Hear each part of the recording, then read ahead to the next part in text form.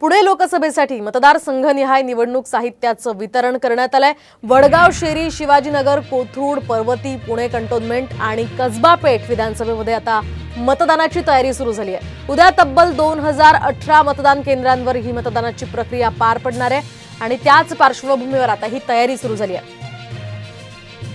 आपण पाहतोय उद्या संपूर्ण सहा विधानसभा मतदारसंघाच्या या क्षेत्रांमध्ये दोन हजार अठरा मतदान केंद्र असतील आणि त्याच पार्श्वभूमीवर हे ईव्हीएम मशीन्सचं वितरण करण्यात आलेलं आहे. आणि जोरदार तयारी या ठिकाणी करण्यात आली आहे. दरम्यान पुण्यातल्या गणेश कला केंद्रावरून आढावा घेतलाय आमचे प्रतिनिधी अक्षय बडवे यांनी. पुणे लोकसभेसाठी उद्या मतदान पार पडते आणि त्या निमित्ताने आज निवडणूक आयोगाकडनं जी तयारी आहे ती आता पूर्ण झालेली आहे. अवघ्या काही क्षणांमध्ये जी निवडणुकीसाठी जे साहित्य लागतं ते मतदान केंद्रावर रवाना होईल. मी सध्या पुण्यातील गणेश कला क्रीडा मंचावर आहे आणि आपण जर या ठिकाणी बघितलं तर मोठ्या सुरक्षा बंदोबस्तात हे सगळी जी निवडणूक कामासाठी लागणारी सामग्री आहे ती देखील आता या ठिकाणाहून काही वेळा डिस्पॅच होणार आहे.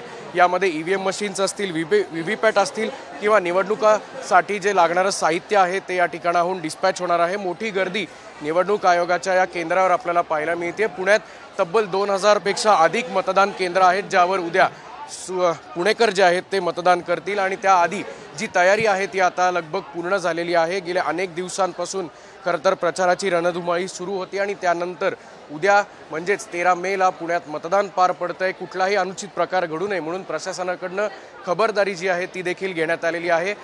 ई व्ही एम मशीन्स असतील व्ही व्ही पॅट असतील असं सगळं साहित्य सामग्री जी आहे ती या ठिकाणाहून जे मतदान केंद्र आहेत त्या ठिकाणी काही वेळात डिस्पॅच होईल आणि उद्या सकाळी सात वाजता मतदानाला सुरुवात होईल आणि संध्याकाळी सात वाजेपर्यंत पुणे शहरातलं आणि इतर ठिकाणचं जे मतदान आहे ते पार पडणार आहे. त्यामुळे तयारी जी आहे ती आता निवडणूक आयोगाकडनं आणि प्रशासनाकडनं पूर्ण करण्यात आली आहे.